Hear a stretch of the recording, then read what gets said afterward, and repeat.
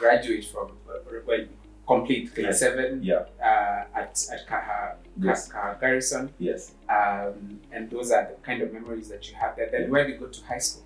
So high school, I go to Starehe, Starehe Boys Center. Hey, you're a Starehe boy. Yeah. there were a few. Yeah. That was good for the privilege. Yes. It was either Starehe or Alliance or Yes, Mang'u. yeah, Those were yeah. where all the good, clever boys used to go to back then. Eh? Right. 77 to Yeah. 1980. Yes. Those are the years in high school. Yes. And then I went from five and six, so I left 82 actually.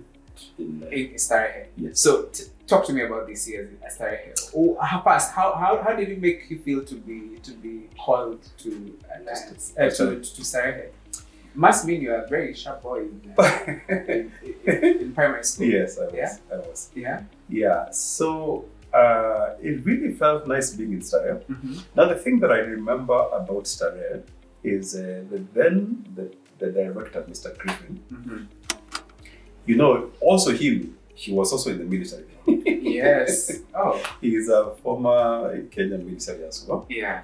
And so the Starehe was very much structured on discipline that are basically Mm. uh, found in the military context. Mm. Uh, so we're known for discipline. Mm. But the one thing that um, I remember about Starehe is what Mr. Griffin impacted on us as Mhm. students. Mm.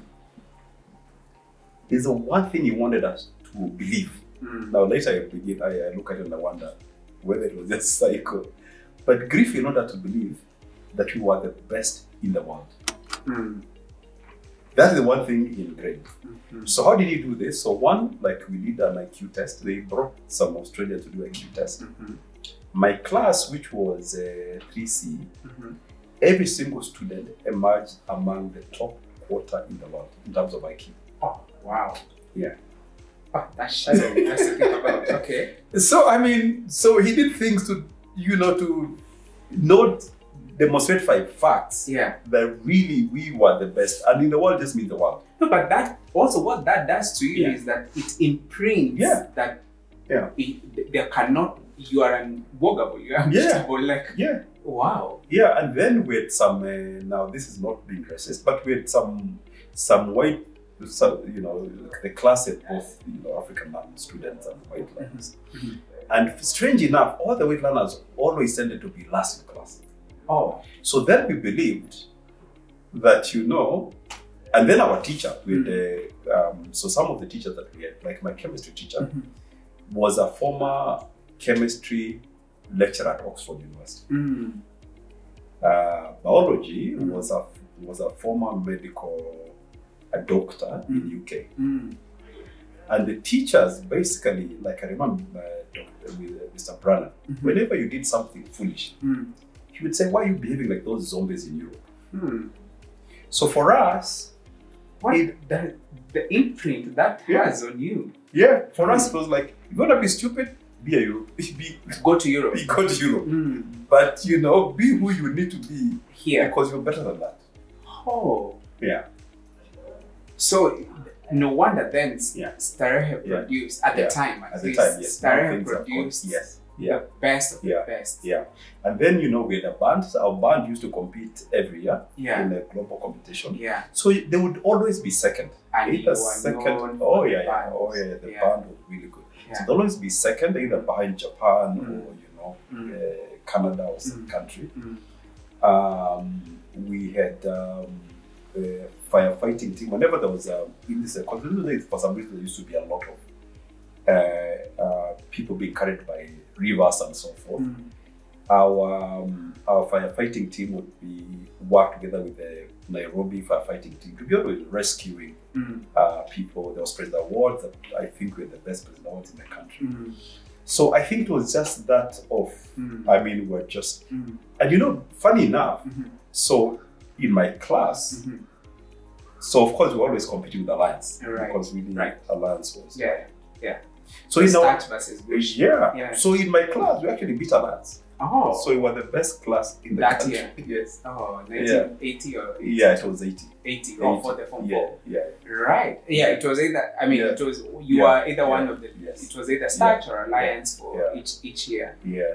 it was very prestigious to be in. At the time. What was your favorite subject or favorite um, co-curricular at yeah, the time? activity. Mm.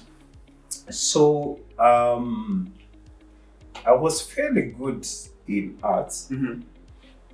even though I felt my career I didn't want to make it in arts. Mhm. You know, Mm. so so when I did well, because I in our class, because what we did was that uh, in Starehe you had um, they they put us in arts classes Mhm. and science classes. Right. So, um, so if you are very good in science, would they'll put in you in C, C. Okay. So one C, the ones uh, from one C, from Mm. uh, from three C, and so forth. Mm. And that class particularly did what you call additional maths. Okay. Additional maths was uh, you'll be doing. Um, I mean, I, I, this is not bragging, but that class was so good in maths Mm. that you'd actually be doing uh, university maths when you're in high school. It's good to brag. That's a good thing. That's a very good thing. Yeah, so those It's were like- humble brag. The ultimate scientist. You're doing campus maths in, in, Yeah. in high school. Yeah, Why yeah. not? yeah, so so I got uh, I, I got into that class. yeah. So then my focus then became I'm focusing on maths, Yes. physics, and chemistry. All right. Those were and I fairly at high school I decided I was going to be focusing on engineering Yes. as a primary focus of uh, career. You decided that Yes. pretty early. Yes. I Okay. All right. And on the extracurricular? So extracurriculum, um, I didn't do too much of uh, extra- extracurriculum in high school, Mm-hmm. um, but we did debates. Mm-hmm. We went a lot to debates at different schools, Mm-hmm. and also uh, what else did I do?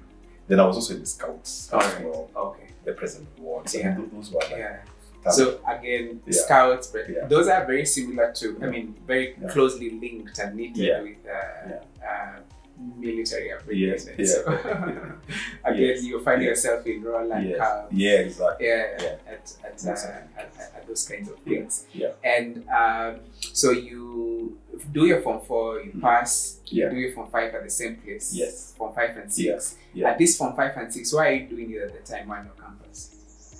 Why am I doing what? Form five Yeah. and six. Mm. You did form five and six. Yes, correct. Why? Why? Why did you choose to do form five and six and not go straight to university? Well, that day, that time it was just standard. Um, oh, it was a thing. Yeah, you couldn't leave from four and go to university. Oh, it was the way. It yeah, Was the, yeah, because the then path. uh, in Form 4 you do six subjects. Right. I mean, you do 8 Mhm.